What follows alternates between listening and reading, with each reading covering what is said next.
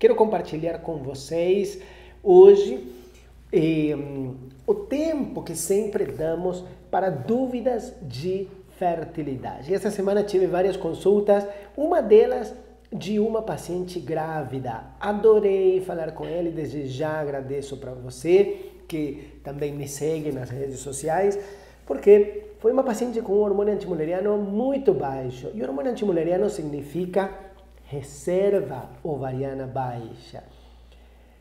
Essa paciente me consultou, ela já tinha passado por alguns outros especialistas, já tinha feito uma fertilização in vitro e eh, nós tentamos avaliar o caso de uma maneira mais geral. O que quer dizer mais geral? Que realmente para tentar entender o que estava acontecendo nesse casal, que levava um ano e meio de tentativas de gravidez mas que eles já tinham feito uma fertilização in vitro por causa da baixa reserva ovariana.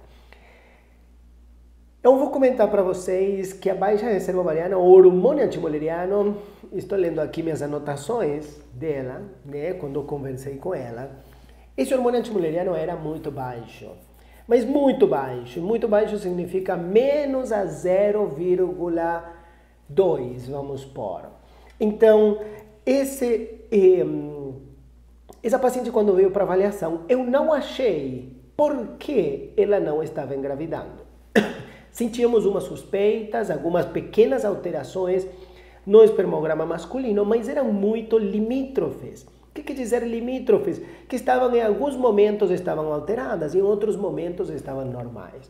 Fizemos avaliação e quando fiz avaliação sempre faço ultrassom transvaginal. A, a, avaliei os folículos e ela tinha um folículo de 16 milímetros. Eu não lembrava disto, não lembrava desse folículo de 16 milímetros, mas lembrava que eh, tinha comentado para eles, e quando conversei com eles, ela me, me falou, ela diz, doutor Júlio, foi você que me deu esperanças, foi você que no dia que eu fui, noutras, no, que o dia que eu fui na consulta, eu tinha um folículo de 16 milímetros e o senhor me falou: não deixe de tentar.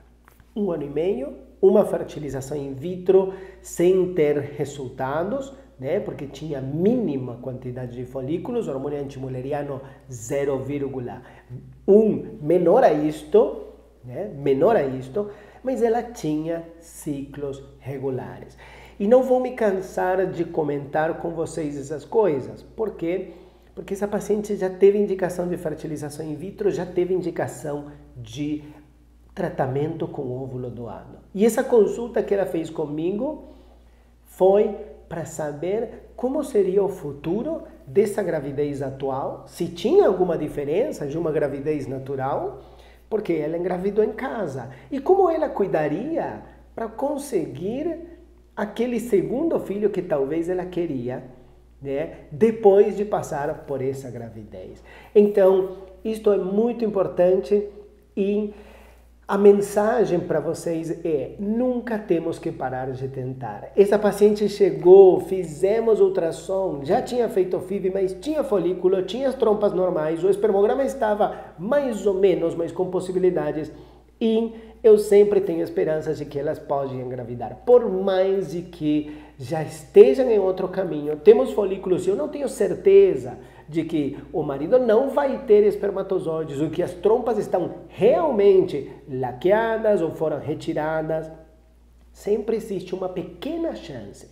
Claro, tem que estar sempre em acompanhamento com um profissional que diga, olha, vale a pena tentar ou não vale a pena tentar. Olha, estamos num momento no qual a reserva ovariana precisamos tomar uma atitude e estávamos tomando atitude. Se ela não engravidava esse mês, ela estaria hoje tentando conseguir esses óvulos para fazer embriões e engravidar através da fertilização in vitro. Mas o mais importante é nunca deixem de tentar e por mais que tua reserva ovariana seja muito, muito baixa, muito baixa, se você tem ciclos regulares, as trompas estão normais e o seu marido, seu parceiro, tem um espermograma dentro do mínimo necessário para uma gravidez, nunca deixem de tentar. E assim como existem chances de gravidez em casa, existem também chances de gravidez pela fertilização in vitro. Mas é com seu especialista que vocês vão discutir, doutor Júlio ou qualquer especialista, vale a pena e vale a pena tentar uma fertilização in vitro? Qual é o tipo de estimulação que eu vou utilizar, qual é a expectativa, quantos óvulos eu vou ter para conseguir fazer essa fertilização in vitro quando eu tenho um hormônio antimuleriano de 0,1, 2, 3, 4, 5. Então, o mais importante, nunca deixar de tentar estar acompanhando com o especialista e saber exatamente quais são tuas expectativas com cada tratamento ou tuas expectativas em casa. Graças a Deus, essa paciente engravidou em casa, depois da primeira consulta, saiu daqui, ela viajou de muito longe, mas ela conseguiu chegar em casa no mesmo dia. Acredito que ela veio de avião, chegou em casa, teve relações e conseguiu essa gravidez.